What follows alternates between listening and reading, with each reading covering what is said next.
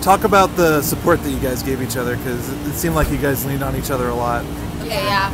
Well, we're one year apart, so we've always been close, and uh, especially when tough t- like tough times come, we always are like there for each other's back. Like Al, even though she's the youngest one, she's always been like my protector. She will protect me, but she will even like be like, "Hey, don't miss, don't miss with my sister." So, yeah, we're definitely we we're a team. We always work on and off the court. Yeah.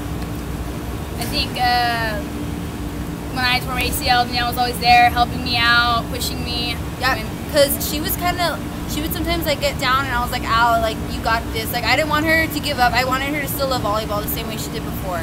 yeah. All right.